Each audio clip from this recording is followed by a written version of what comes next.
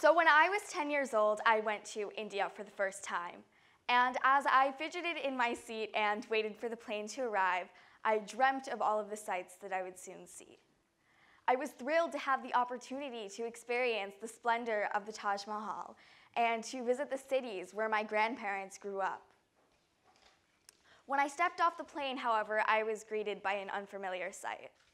I was greeted by a curtain of thick gray smog.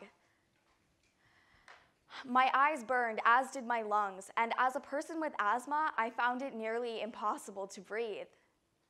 The pollution would continue to be an issue for me throughout my trip. I had asthma attacks even inside and had to wear my mother's scarf around my face just so that I could avoid the toxic air. As I would later learn, the pollution that choked the air in India was only a symptom of a larger issue, the climate crisis. I couldn't fathom how people had to live like this and how children had to live like this every single day. When I was 10 years old, I had never truly thought about the climate crisis before. I had bought into the narrative that it was a far off phenomenon, that it would impact my grandchildren and not me. After all, if the climate crisis was truly a crisis, I would have learned about it in school. And if the climate emergency was truly an emergency, we would stop drilling for fossil fuels immediately because the best way to get yourself out of a hole is to stop digging, right? Little did I know that I was not the only one who was outraged at this injustice. Just a few months prior to my trip, Indigenous youth had defended their land at Standing Rock leading the fight against the Dakota Access Pipeline. Then, two years later, youth led climate organization Zero Hour would go on to host the first ever Youth Climate March on Washington. And that same year, then 15 year old Greta Thunberg would go on school strike for climate every day outside of the Swedish parliament building, asking our world leaders why should, should she be forced to study for a future that may cease to exist due to the climate crisis. Her movement was dubbed Fridays for Future, and to her surprise, millions would soon follow her lead. When I was younger, however, few adults within my circle of family and friends were talking about climate change, much less taking action on it. I didn't know that I had power, that I could do anything. After all, I was only 10 years old. So while the issue always lingered at the back of my mind, I never acted on my fears, trusting the adults in my world to do what was best for my life. Then my state caught on fire. In 2018, a horrific wave of fires ravaged California. Of these, the most infamous is the Paradise Fire or the Camp Fire. The Camp Fire occurred in Paradise, California, only two hours away from where I live in Sacramento. Fires like these are getting stronger due to the climate crisis, and dry conditions allow them to spread faster. Because Sacramento is only two hours away from Paradise, we got a lot of this smoke. Once again, smoke choked the air and I struggled to breathe. The fire department handed out flimsy masks. My friend even jokingly made a song about how hard it was to breathe, appropriately titled, If You Breathe, You're Gonna Die. I had asthma attacks inside, and our homeless were ordered to get off of the streets because it wasn't safe to be outside. Schools were closed, and everybody was impacted.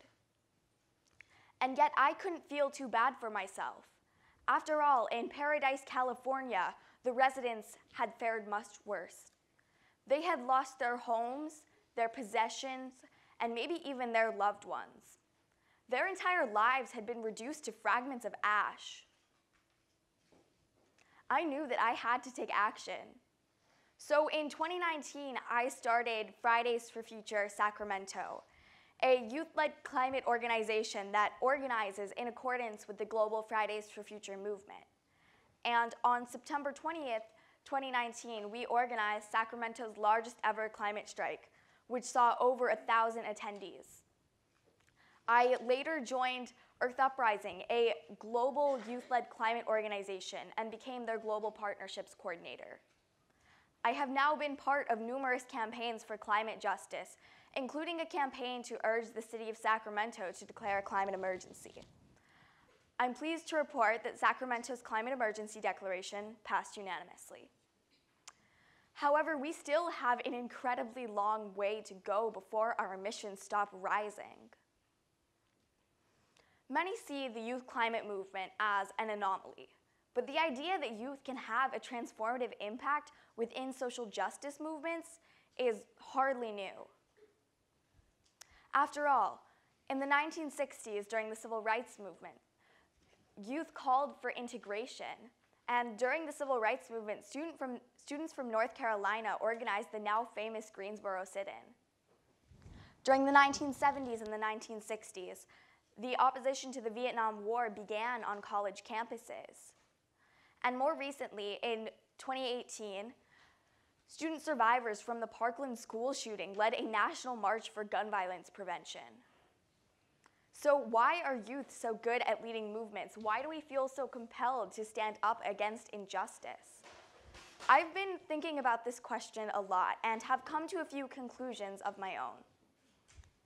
Firstly, as youth, we're not beholden to any special interests. Unlike our politicians, whose political stances are often determined by their financial interests, the only thing that we as youth have to lose are our futures and not our fortunes. Secondly, as youth, these issues impact us the most.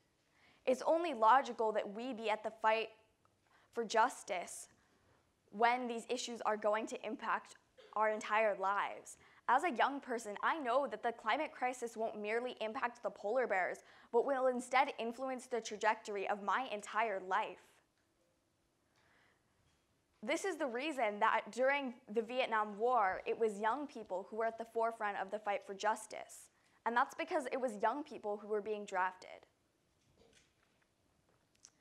In addition, our optimism is honestly one of our greatest strengths. When I joined the youth climate movement, I thought that it would be a place of fear. After all, fear is what drove me to action.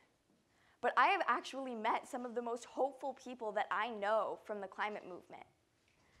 Hope is the reason that even though the United Nations has only given us 10 years to act on the climate crisis, it's the reason that we still climate strike.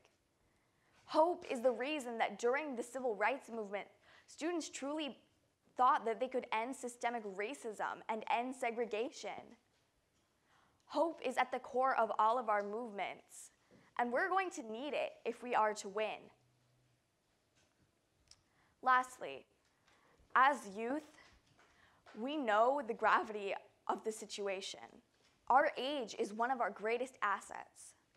I have been in rooms where I haven't been spoken to as much as the adult in the room simply because I'm 14 years old.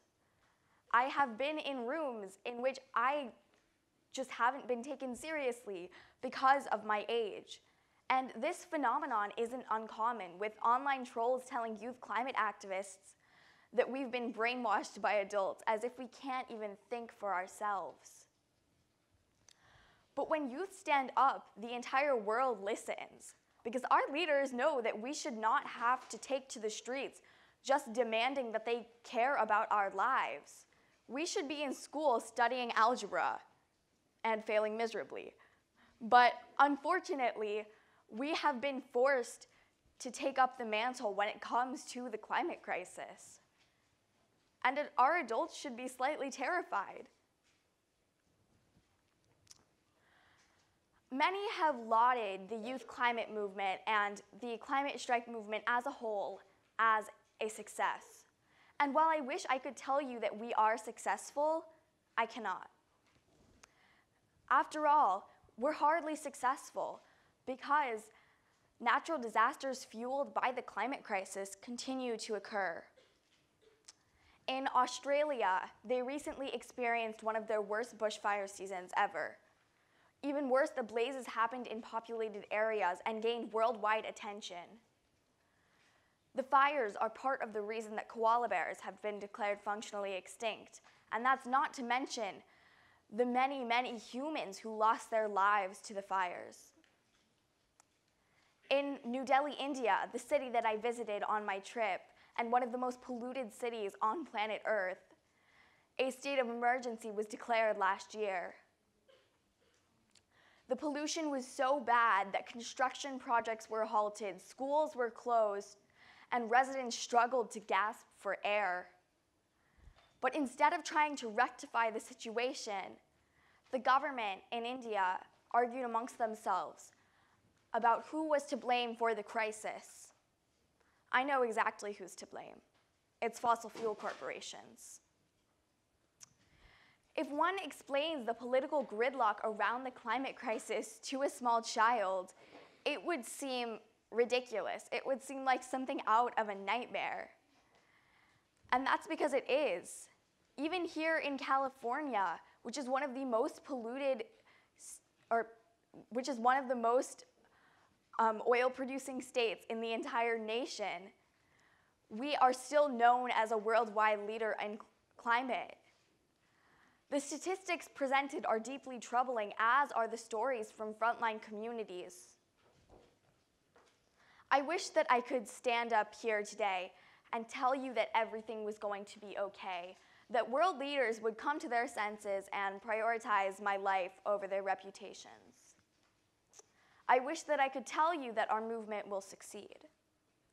But unfortunately, I cannot. I don't know what the future holds for our movement. But what I do know is that each and every one of you in this room has power. And that's power that we need to harness if we are to reclaim our futures. We need to do the unglamorous work of lobbying and organizing and protesting. And we have to fight like our lives depend on it. Because they do. Thank you.